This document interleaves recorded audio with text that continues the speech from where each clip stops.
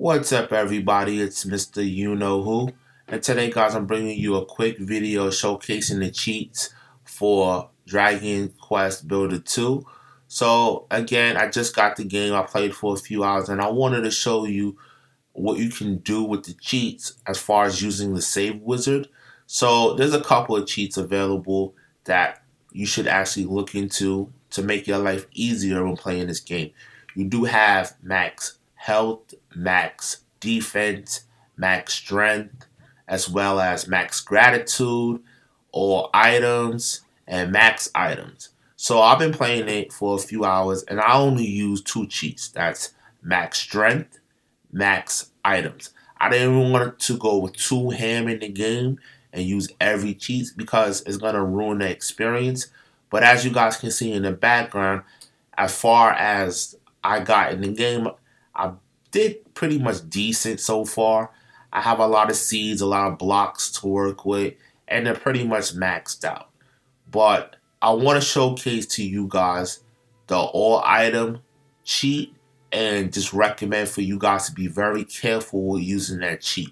So as you guys can see, I just have the basic stuff in my bag and they're all maxed out. To me, it didn't make any sense to use the max health when I could just have certain items that give me back health and max those out. Because I want to have a little fun with the game. But I'm going to show you guys right now. I'm going to go kill a couple of enemies and showcase that my strength is really high for my level. But as you guys can see from my workstation, I got the basic stuff, nothing crazy. I'm going to pick up some more stuff and make a better save. I just want to show you what the actual cheats can do.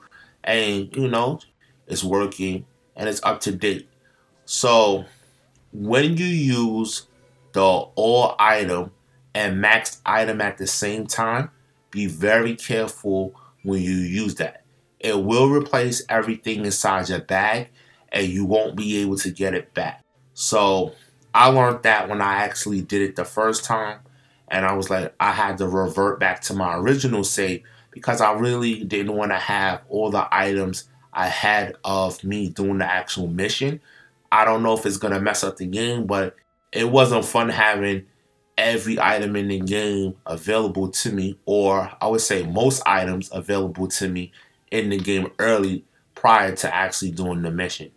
So as you guys can see right now, I'm gonna hit a couple of enemies and I'm at level 5, but my strength is really high. Which again, I rather do that but not go too crazy on the health. Because like I said, I got items that will rejuvenate my life, so I'm not worrying about my life going down. But I'm going to switch over to the other save and show you guys all items or most items with maxed items. So just bear with me for a few seconds while I switch over.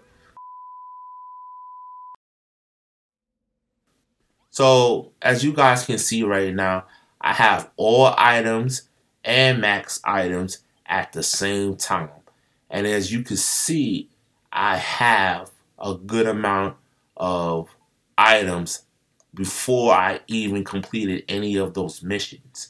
So like I said to you guys before, I would not recommend for you guys to do this because it replaces all your previous items in your bag. Now, this is just a save that I would actually play around with, but I wouldn't use this as my main save only because I don't know the effect in the long run.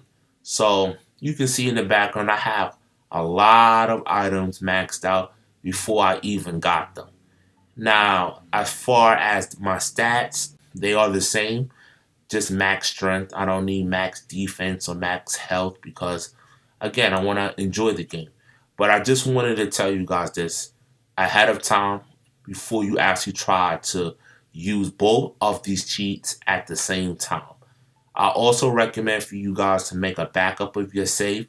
And like I said before, if you're going to apply the cheats to your save, it has to be on the auto save.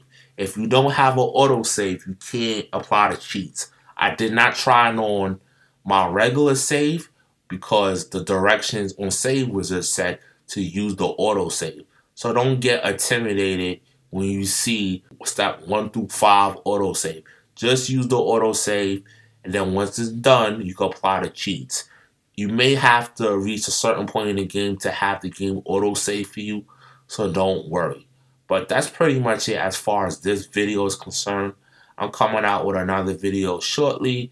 I am playing the Modern Warfare beta, and I'm going to give my impression on what I think about that very soon. But just sit back, relax, and enjoy this game. Once again, I thank you guys for supporting my channel and watching my videos, and I will get up with you guys later. Peace.